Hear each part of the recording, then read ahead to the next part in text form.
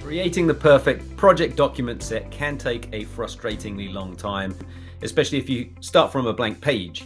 In this video, I'm going to be taking you through the most simple way to create professional looking documents with one click using templates. Let's take a look. Click New Project to create a new project.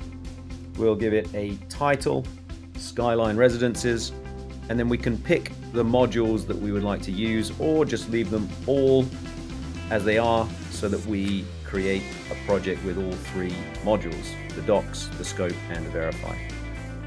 On the left hand side we have the library in the docs module and at the top you can select which library you're using and inside of that project or that template you'll see all of the documents. If we open a document, here the EIR, Exchange Information Requirements, we can see on each of the sections the content by hovering over the eye.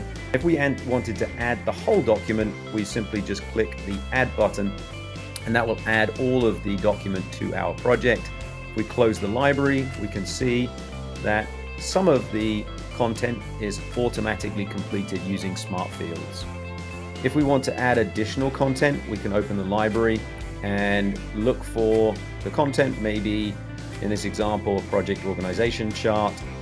And simply by dragging and dropping it into the hierarchy, we can add exactly what we want into our project at any point. You can have multiple documents in here by clicking to add a BIM execution plan so by using templates, setting up your entire project document set is as easy as pie. Your team will be impressed with the speed and professional results, and you might be feeling mighty proud too. Remember, don't plan late, plan early.